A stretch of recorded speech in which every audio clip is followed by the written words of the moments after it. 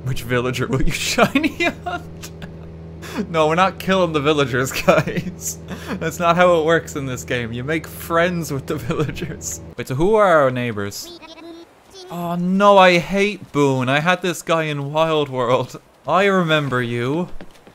And who's this? This is Flo. I had like a hybrid flower garden in my like my Wild World world copy, and he built his home like fucking on top of it. And then like he decorated his home like garbage for like the two years he was living there. And I hated him every day. Yes, of course. Welcome everyone. Welcome to your new island. My name is Tom Nook, and I'm the founder and president of Nook Incorporated. Like each of you that choose a spot of your own. It's the first step to putting down some real roots. First objective, survive. I I kind of want it to be past the river, but I have no tools. Can I build it here, just like on the sand? Let climate change claim me. Is it gonna let me? Oh god, it's actually letting me do it. We get a nice sea breeze. You can decide where they move in. It's not, it's, yeah, it's nice to meet you too again, man. I think this spot will do the trick. I'll, I'll find you a spot, Boone. Hang on. Too close to the water. What's the problem? I don't want him to have access to anything. That taken care of, we can move on to more serious business. Like throwing an island warming party. Hey, Mr. Nook, can we not invite Boone? Just, just, just me, you, and Flo. Just gotta make sure his home's really terrible to get started. You ever seen a man burn alive at the stake? Yay! now, we may not have the kind of numbers I originally envisioned. But that just means we'll have to rise to the challenge. I have no doubt that with hard work and perseverance, that means you're gonna do all the hard work and persevere, we'll shape this deserted island into... Because we can't call it a deserted island anymore. What should we call it? it? It, needs to it needs to have a name where like you hear it as like I want to take a trip there. I got it.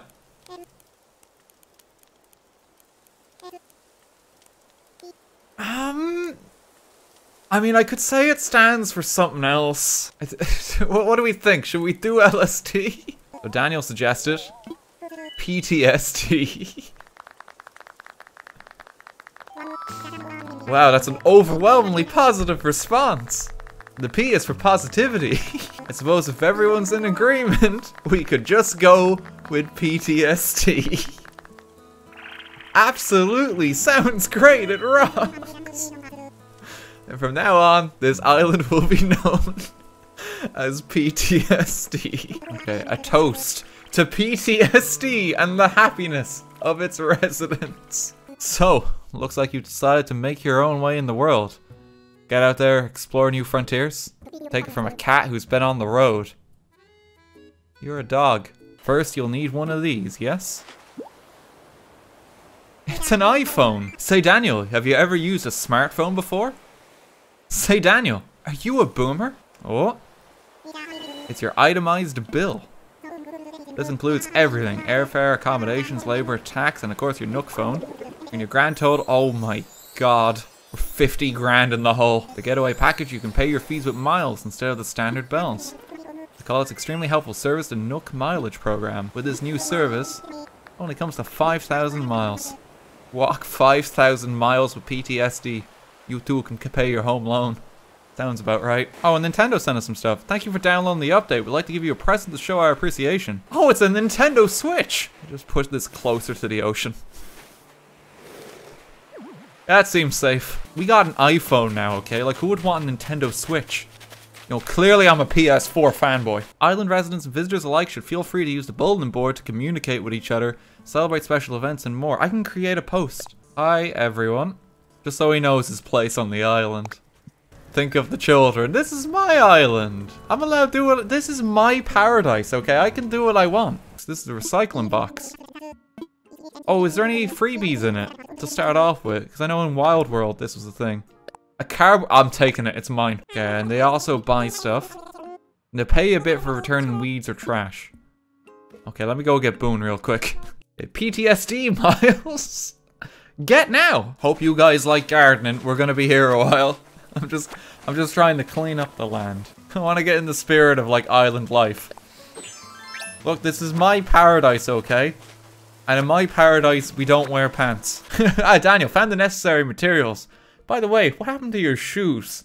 There we go. That's Okay, that's that's a good fish.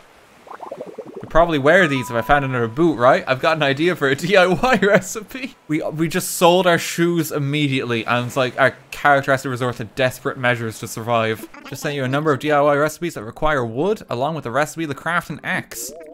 An axe would come in quite useful on this island. Yeah, Boone's still living here. I could use it real quick. You think we've been, like, abandoned for, like, years already, if you look at our character. Like, we literally just got to the island. Bladders, is that you? What splendid timing. Yes, yes, do you remember this venture we discussed? Well, it's come to fruition. I am currently stationed on an island that we've decided to call PTSD. Believe it or not, he's going to come to our island to help us identify and preserve the local creatures. That looks kind of nice. Okay, museum spot is built. So do I have to wait for till tomorrow for him to come? We're in the future now. It's now the 21st of March. The PTSD airport is now open for business. if you want to have a really shite flight to anywhere in the world, it's Bladders. He's here. As it happens, there sits a substantial stretch of land beyond the river. But the river, you say, I can't just hop over it, you say. Silly you, I have a solution as audacious as trying to populate an entirely deserted island. Oh my god. Oh, what? Refrigerator, nice. Oh, that's gonna give me storage now, too. Refrigerator, should I change? Get changed? This this isn't where I put my clothes. Looks like I can send a message on a card for 200 bells. Ready to send a letter.